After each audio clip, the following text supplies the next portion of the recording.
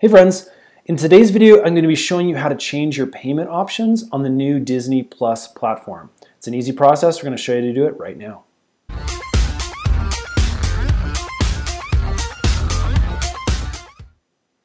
Okay, so I'm currently using Disney Plus on my laptop. This is in my Chrome browser.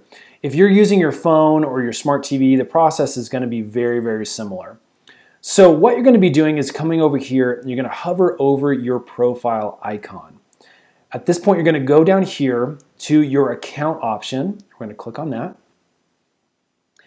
And you're actually going to get a few different options here, including this down here, which is uh, your subscription service that offers the billing details. So let's go ahead and click on this. And as you can see, it gives us the option right down here to change our payment information. I'm currently using PayPal as my payment processor, but if you click on this button, you can see it gives you the option to type in a credit card, or if you're using a credit card and wants to switch to PayPal, it's again a very similar process. You're just gonna have to click this button to sign in uh, to your PayPal account.